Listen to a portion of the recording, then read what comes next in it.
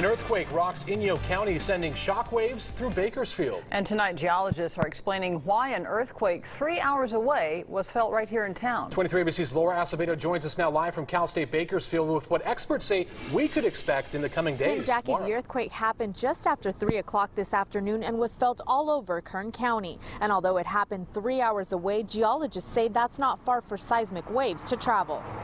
oh, did we just have an earthquake? We felt kind of swaying back and forth maybe a little bit or felt out of balance. That was the question from many this afternoon after feeling the effects of a 4.8 earthquake that hit near Big Pine, California. This is video from the earthquake cam at our sister station KABC in Los Angeles when the quake registered on the seismograph. The epicenter about three hours northeast of Bakersfield. Three hours by car, but it was only about 130 miles or so uh, from where the earthquake occurred.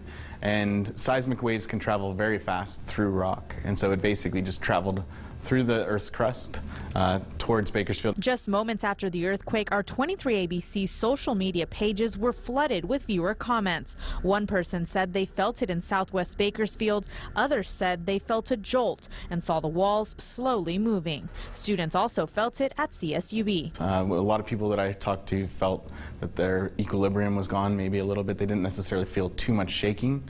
Um, and as you get further away from the earthquake, that's what you tend to feel. After the 4.8 earthquake, there were several aftershocks, including a 4.3. Krugh says this is normal when there's a quake with a large magnitude. Basically, once the rock moves, it has to readjust. And so those are what you see happening in terms of the, the aftershocks occurring. And geologists say there's no way of knowing if or when another will hit. I wouldn't expect to, to really see anything happening uh, in, the, in the next few days. It's pretty unpredictable when they're going to occur.